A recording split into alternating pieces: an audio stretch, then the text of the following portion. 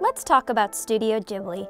It is so much more than just an animation studio. Studio Ghibli and its co-founder and most famous director, Hayao Miyazaki, are cultural icons. If you're from the West and your first taste of anime wasn't Pokemon, Dragon Ball, or Sailor Moon, then I would have to guess that it was probably a Ghibli film. After all, what in this world is more nostalgic than putting on Spirited Away or My Neighbor Totoro on a rainy afternoon with a piping hot bowl of instant ramen?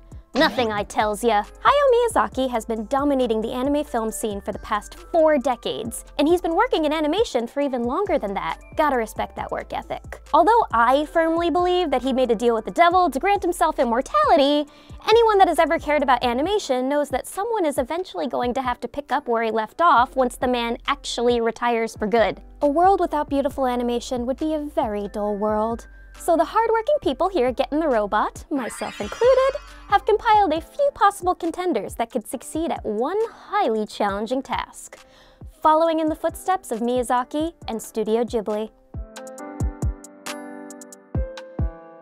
Now, I want to make one thing clear first. We are not by any means trying to say that Studio Ghibli is a studio that could be replaced, or that there will ever be a new Miyazaki, or even a new Takahata for that matter. Studio Ghibli's success really cannot be matched in any capacity. Not only do the numbers alone speak for themselves, but when someone mentions these films in conversation, you don't just think about one feature that makes Ghibli Ghibli. You think about everything. Fluid animation, masterful storytelling, fantastical worlds, delicious food, themes of environmentalism, feminism, and the downfalls of modern civilization civilization as we know it?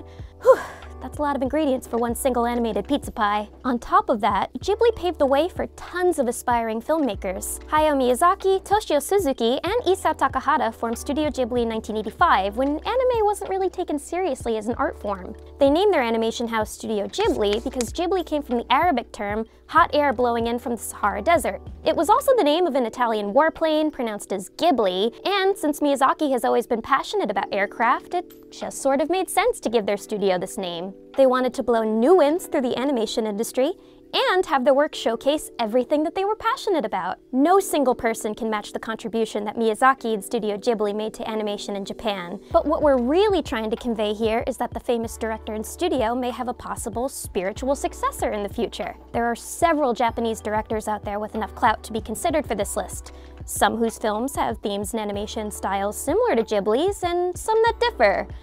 Quite a bit. Some directors have managed to prove themselves through awards and acolytes alone, even receiving Academy Award nominations, which honestly doesn't really mean anything because the Oscars are a sham, but hey, the recognition is nice. So, who are our nominees for the Best Studio Ghibli Future Successor?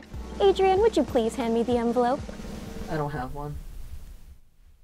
Well, that stinks. Starting out, our first nominee is Makoto Shinkai, who, according to his IMDb page, is a director, writer, producer, animator, editor, cinematographer, voice actor, manga artist, and graphic designer. That's a lot of jobs. How do I do that, sir? Famously nicknamed as the next Miyazaki, Shinkai has certainly shaken up the anime film industry with his record-breaking 2016 feature, Your Name. Your Name has been named as the highest-grossing anime film, making over $358 million in box office sales worldwide and beating out several Studio Ghibli films, including Spirited Away. Before Your Name, Shinkai was certainly no stranger to the industry, creating gorgeous works like 2004's The Place Promised in Our Early Days and 2007's 5 centimeters per second, which was given the nickname 5 wallpapers per second because of its beautiful backgrounds. There was also 2011's Children Who Chase Lost Voices, which made many viewers compare Shinkai to Miyazaki, and 2013's theatrical animation, The Garden of Words, which has a stunning food sequence that clearly pays homage to Ghibli's mouth-watering meals. The guy didn't even start out in film, he began his career making clips and doing graphic design for the video game company Falcom. With another highly anticipated movie, Weathering with You, set to release this year, Shinkai is certainly looking like a promising contender for the position of a Ghibli successor. Funny enough, Shinkai himself doesn't necessarily agree with all the critics that have dubbed him as the next Miyazaki. When asked about it in an interview, he says that Miyazaki is definitely an inspiration, and even name-checks Castle in the Sky as a major influence in his work. However, he also states he's a genius, but you can't be Miyazaki. You can only be the second Miyazaki. And that isn't something to aim for.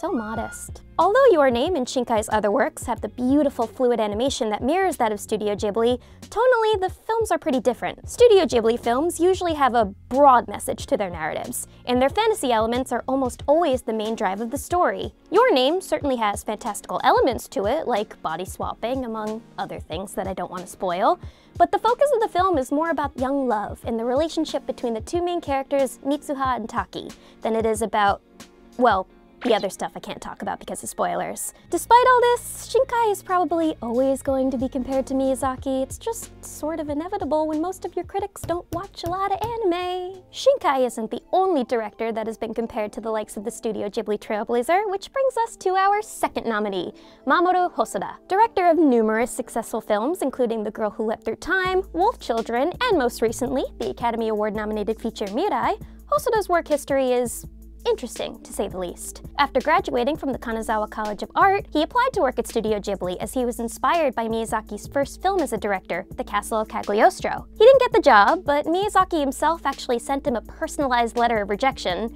which means he had to have at least been a little impressed. If I was Hosoda, I probably would have shit my pants right then and there. He ended up getting a job at Toei Animation, where he worked on episodes of Sailor Moon and Dragon Ball Z, among other franchises. Hosoda's big break came along when he worked on and even co-directed a series of Digimon OVAs and films in the early 2000s. Digimon the movie was met with so much success, in fact, that Hosoda was immediately asked by Ghibli producer Toshio Suzuki to direct their upcoming feature, drumroll please, Howl's Moving Castle. Unfortunately, his time at Ghibli was short-lived, and he didn't direct the film due to creative differences. He did, however, return to Toei for a few more years until leaving to create The Girl Who Leapt Through Time at Madhouse in 2006, and eventually started his own animation house, Studio Chizu. So the man is doing pretty alright for himself, despite not actually directing Howl in the end. I think it really says something that Hosoda worked his way to founding his own studio, just as Miyazaki did back in 1985. Hosoda has probably had more consistent success and accolades than Makoto Shinkai, and his films follow more similar themes to that of Studio Ghibli's. The Boy and the Beast is a fantasy film about an unlikely duo from alternate universes,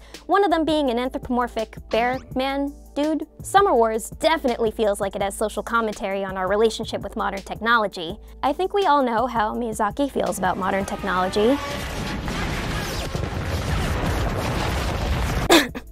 Even Mirai uses time travel and magic in its more simplistic story. It's actually based off of Hosoda's two children, which is absolutely adorable. Hosoda, also like Miyazaki, highly values the beauty of traditional animation in an era where CGI and digital animation have become the standard. Mirai combines both hand-drawn art and CG animation, with 20 artists creating those beautiful hand-painted backgrounds. Although Hosoda isn't necessarily disheartened by the industry shift to digital, he has expressed disappointment about the dying trend of hand-drawn films. It would certainly be interesting to see how he handles this in future films. If he can somehow continue to implement traditional animation along with Then that would definitely make him a force to be reckoned with, as well as a potential Miyazaki successor. Moving along to our third nominee, this guy is another ex-Studio Ghibli creator, Hiromasa Yonebayashi, nicknamed Maro, which I'll be referring to him as for obvious reasons.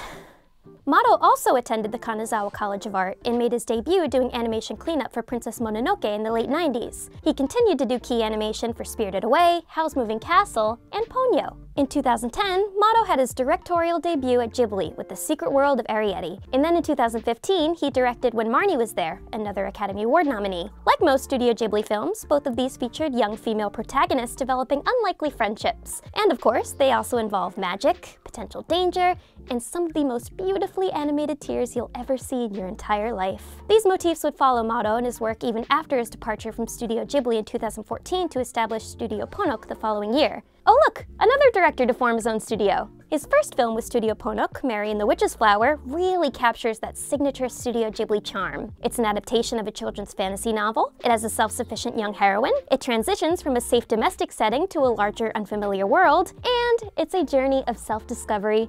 I would say that checks off a healthy number of boxes. In fact, when Maro was first approached about the idea from producer Yoshiaki Nishimura, he was worried that Mary was a bit too much like a Studio Ghibli film. More specifically, Kiki's Delivery Service, since the titular character is also a young broom-riding witch with a feline familiar. In the end, it was a good thing that they went through with the movie because it was received positively, and Maro got to showcase everything he learned at Studio Ghibli while being able to add his own voice to it as well. It will definitely be exciting to see what Studio Ponoc has in store for the future and how their art style will evolve over the coming years. On to nominee number four. I should probably stop saying nominee, but hey, I just want to feel my red carpet fantasy for a bit. This contender is none other than Masaaki Yuasa, known for his hits like The Night is Short, Walk On Girl, Devilman Crybaby, and Ping Pong the Animation. Best sports anime ever.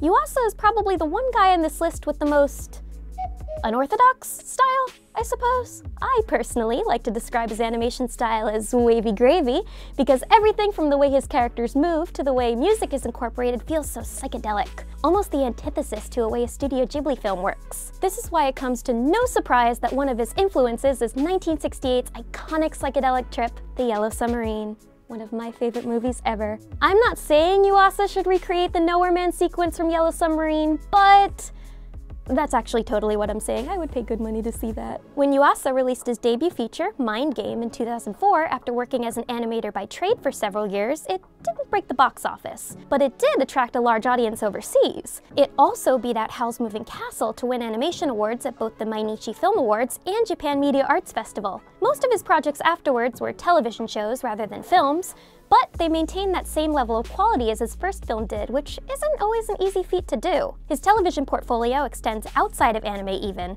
In 2014, he directed an episode of Adventure Time called Food Chain, which many people described as bizarre. When asked about his unique creative process in an interview, Yuasa said, the more I've done, the more I've come to understand with what you can express with images and with color. There are lots of different parts, scenery, sounds, music. I try to make everything link together in a natural way. These parts that he's discussed all come together so seamlessly in his 2018 film, The Night is Short, Walk On Girl. Watching the ways that he plays with color and shapes in that movie really make it feel like you're watching a painting come to life. It's honestly like nothing else I've ever seen before, which makes it so refreshing. The themes in his films are more outwardly adult than Ghibli films, maybe making Yuasa a better option to succeed Hideaki Anno or Satoshi Kon rather than Miyazaki. However, adult themes and imagery shouldn't make him any less qualified. And besides, that scene from Spirited Away where No Face goes berserk definitely gave hundreds of children nightmares.